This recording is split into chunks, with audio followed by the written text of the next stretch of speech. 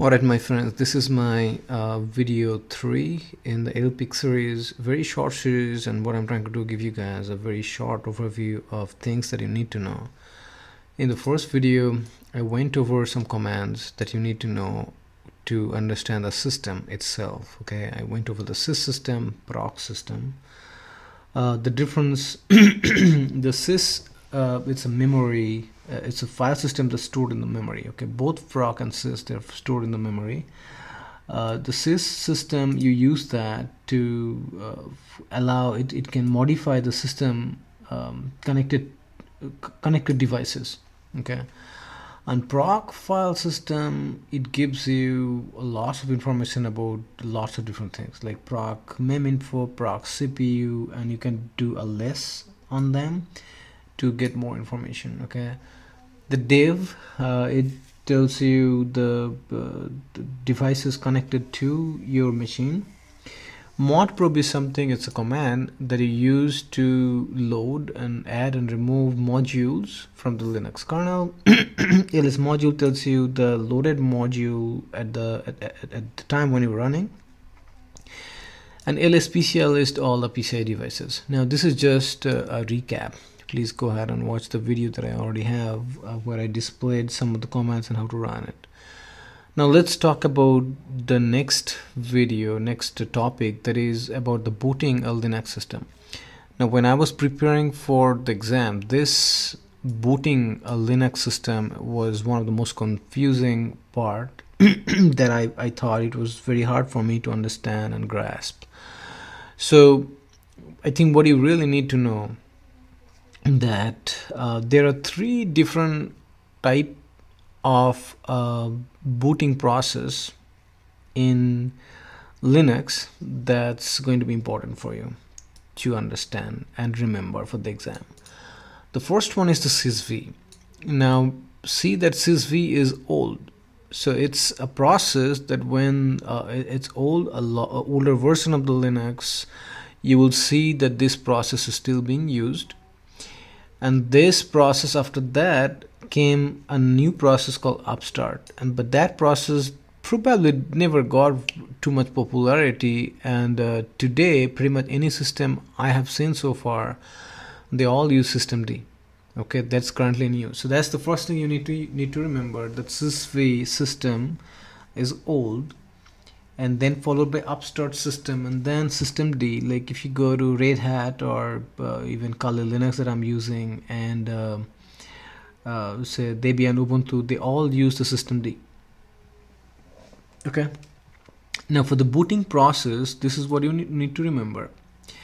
So everything starts with a BIOS okay? BIOS it does a post and then it goes to the mbr okay. Uh, and then master boot record. And it gets the bootloader okay.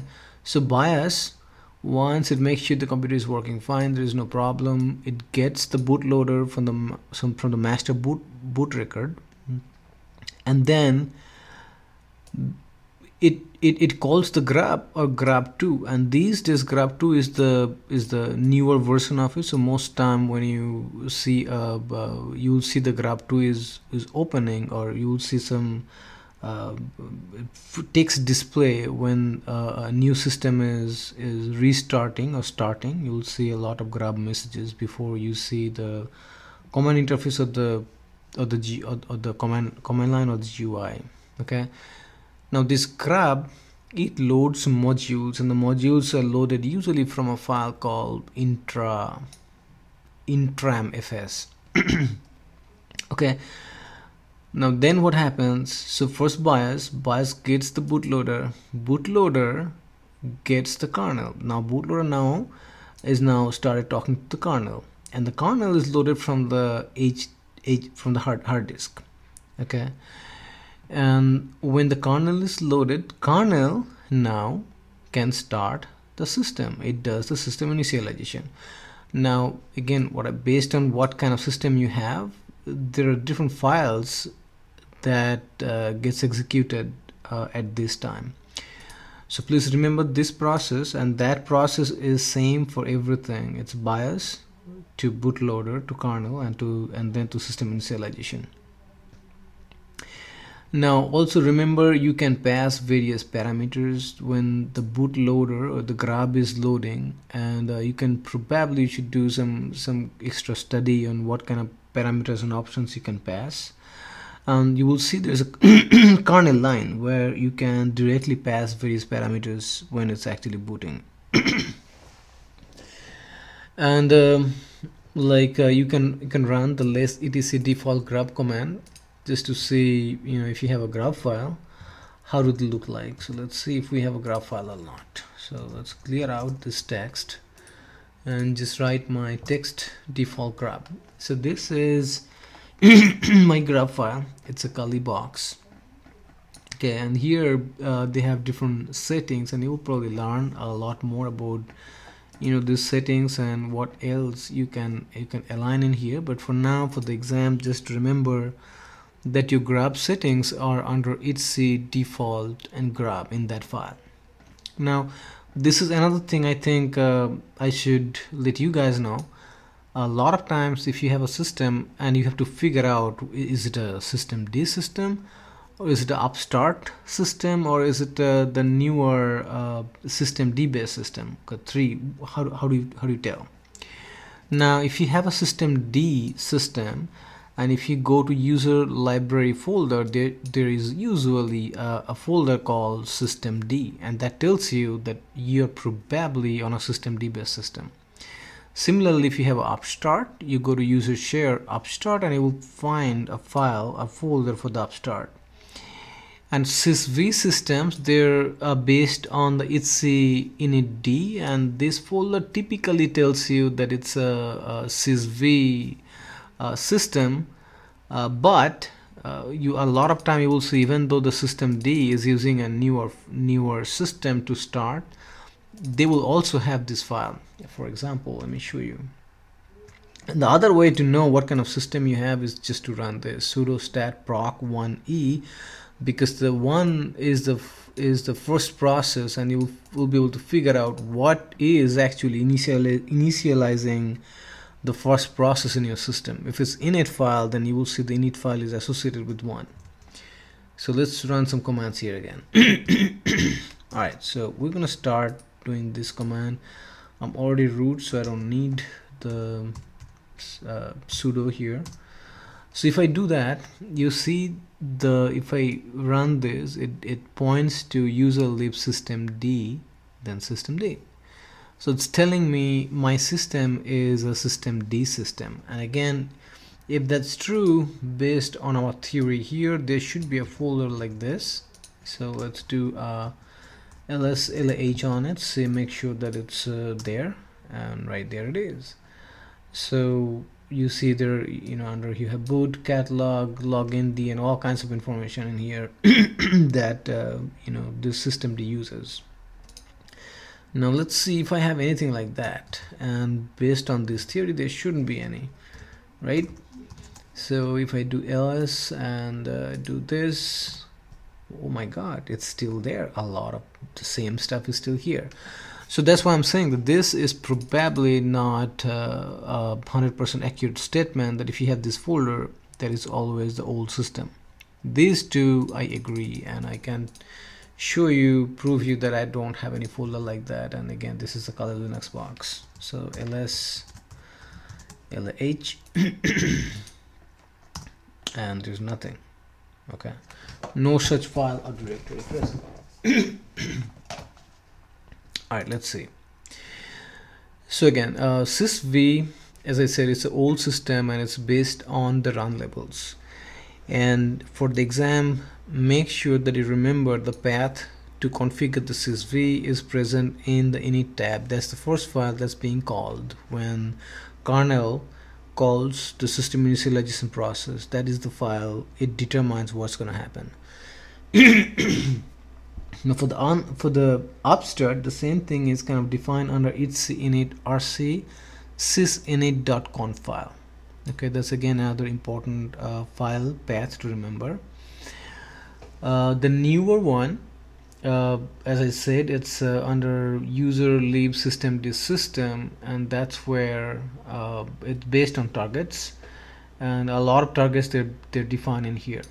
And um, there could be system target basic target multi-user target and graphical target like I'm running this box uh, I have a graphical user face available to me. So I'm pretty sure so if I try to see what is the default target for me the default tar target is most likely pointing to the graphical target right? So let's see what kind of uh, output do I get here.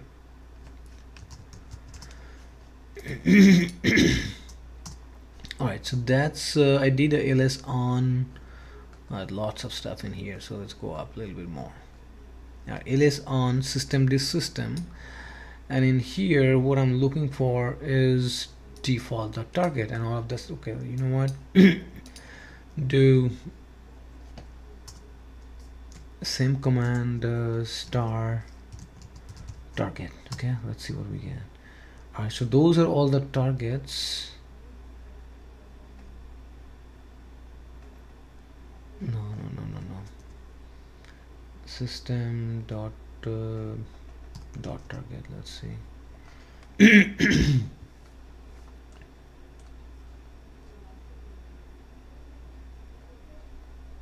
Okay you, you can see that they also have run levels and targets and everything defined. Um, so lots of things. Uh, let's let's do this maybe. Just to let's just see what we have uh, under the less graphical target. So if you have a graphical target defined in here I'm pretty sure you do. Uh, let's see if you have anything like that. Okay so this is how what is defined on the graphical target. And uh, you don't really need to know what what you know how to configure this. This is uh, pretty much it's defining that yeah you can have a GUI and that's pretty much all you need to know uh, the other thing you probably should know is the default target is a is a link. So if you look at that it starts with L. That means this default target for my system is a link and it's pointing to the graphical target. So when I start my system it will open in an environment where the graphical target is that is defined by the by the by the graphical target. Okay so remember these commands uh, and uh, and the three different types of systems initialization that's possible.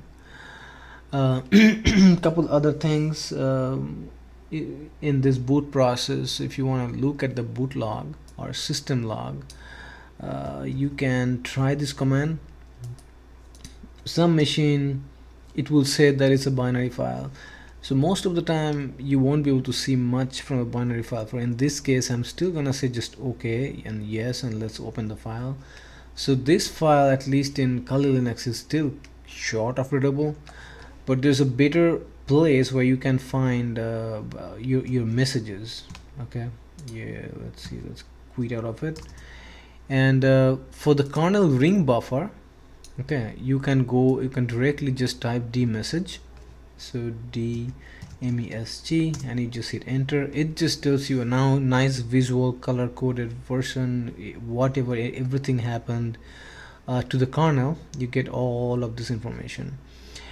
And another thing uh, for the messages uh, related to boot and everything else and that's the folder that's very very important that you should remember that most files and most logs in the Unix system they will be stored under var log folder.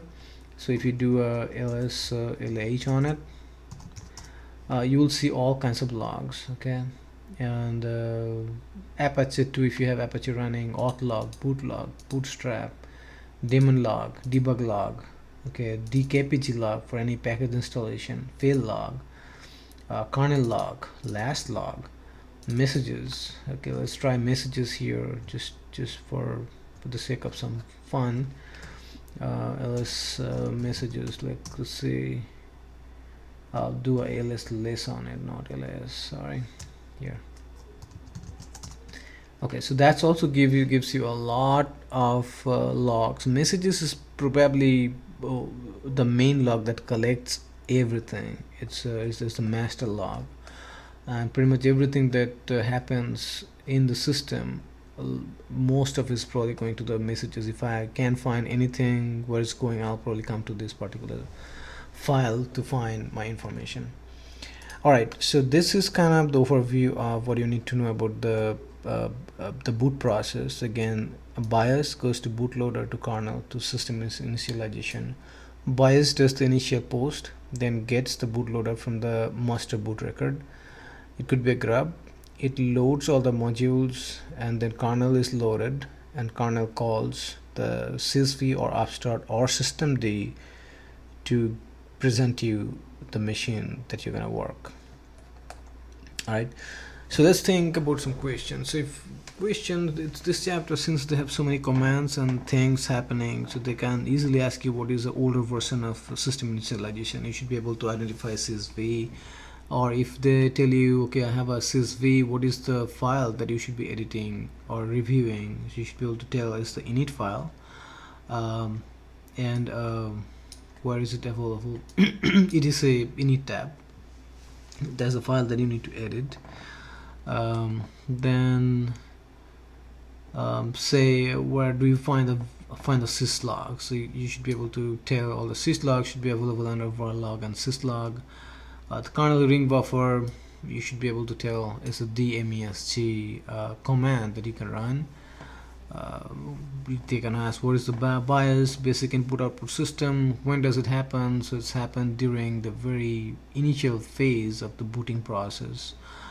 Uh, BIOS does the post and it loads the what? The bootloader. It gets the bootloader from the MBR uh, you can ask about the bootloader. What is a bootloader? It's a program that loads an operating system.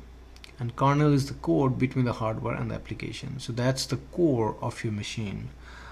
Uh, it's init tab I talked about it. It's the configuration file that controls what happens on a restart or when the run levels are force changed.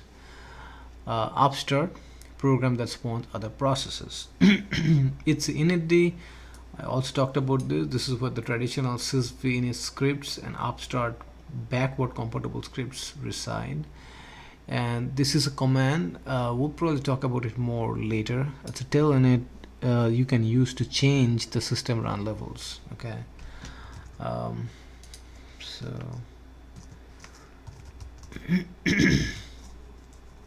Mm,